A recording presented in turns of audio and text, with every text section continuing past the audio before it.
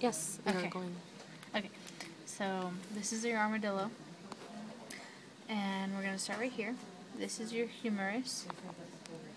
Um, what holds the humerus to the scapula is your acromion right here. It's kind of broken, process.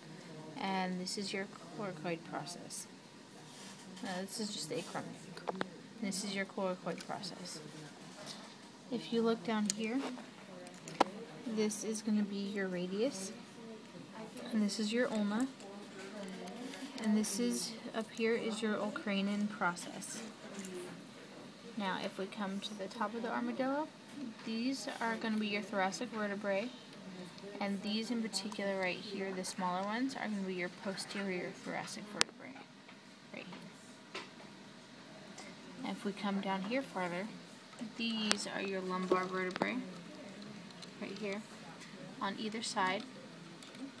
These spines and these spines are going to be your mammillary processes, right here on either side of the lumbar vertebrae. If we look underneath, these little spines right here are your xenarthus, xenarthrus. Um, they are articulation points. If we come to the back leg, this is going to be your femur, right here. This one is going to be your fibula, fibula, and this larger one back here is your tibia. This little um, bone right here is going to be your calcaneus, right here. This little process on the end. It's not a process, it's a bone. Um, this is going to be your ischium. This part of the pelvic girdle is going to be your ilium. This whole fused section of vertebrae is your sacrum.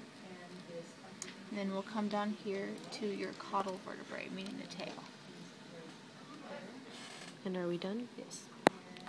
Oh, and there's the armadillo.